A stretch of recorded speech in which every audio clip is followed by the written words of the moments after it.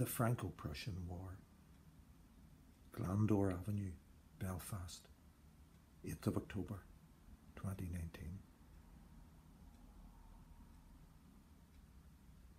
This is the year Pissarro spends in exile in London, of all places.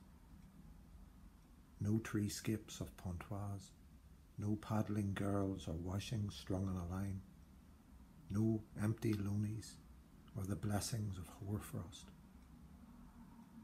But yet another empire with its own perspectives. A church tower in Sydenham staring down a century and a half to a front room in what is, or soon will be, by a trick of the light, this timely avenue in another city entirely, where a chap has put up his well shod feet for the last time.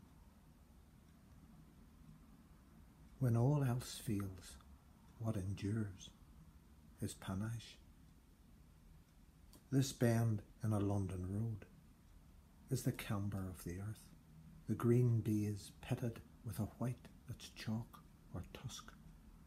A hairpin turn, still recognised, though each tree from then is pulled up and concrete frog marched up the gutters. The artist has set the Crystal Palace aside. Its glass so refracting our gaze that the boy with his father, promenaders, the little girl with her intimate platoon, are images of those who haven't been born yet, who haven't been killed by shots still to be fired. In the Ormeau Park, our city fathers just opened. This is how the dead work, exceeding the brushstrokes of what they could know.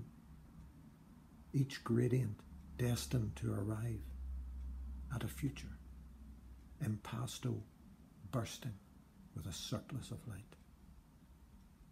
From France, the intermittent bass notes of artillery applaud.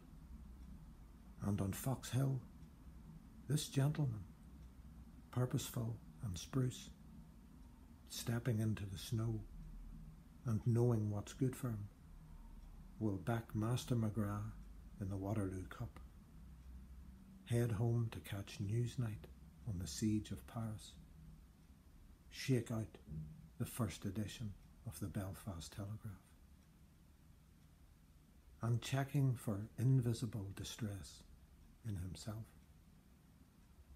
Watch the rest of us collapse under Solomons of soup suds and Melchizedeks of ink, sinking Bismarcks and the single explosive celluloid of a cue ball.